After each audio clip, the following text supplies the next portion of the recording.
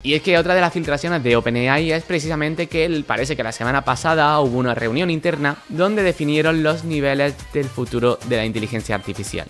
Para que hagáis una idea, el nivel 1 serían los chatbots de modelos de lenguaje. El nivel 2 lo han llamado los razonadores, que pueden solucionar problemas de nivel humano. El nivel 3 serían los agentes, que serían sistemas capaces de tomar acciones. El nivel 4 los han llamado los innovadores, es decir, IAs que tienen el poder creativo de inventar cosas nuevas flipa. Pero flipa más con el nivel 5, los organizadores. IAs que pueden realizar el trabajo de una organización entera. Bastante loco esto. Esto sería que una IA no solo actuaría como el jefe de una compañía, sino como la compañía entera, pasando por el departamento de venta, de marketing, de mm, lo que sea. Todo lo haría una sola IA que sería la IA organizadora. Según OpenAI, actualmente estaríamos en el nivel 1, a punto de saltar al nivel 2 seguramente con Strawberry Fresa y con algún nuevo modelo como GPT-5, que cada vez es más probable que lo presenten en noviembre en el evento de OpenAI. O sea, no va a ser nada fácil llegar al nivel 2, ¿eh?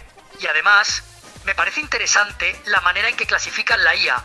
Parece un buen sistema para entender en qué nivel está cada modelo y para qué se puede usar. Estoy deseando ver cómo va a ser el nivel 2 y qué nuevas habilidades va a ofrecer. Creo que el nuevo modelo de GPT-5 y el modelo de Fresa va a ser muy útiles y voy a suponer que van a funcionar en conjunto para permitir la creación de agentes todavía más inteligentes e independientes y que va a ser una tremenda herramienta para hacer trabajos complejos y de investigación.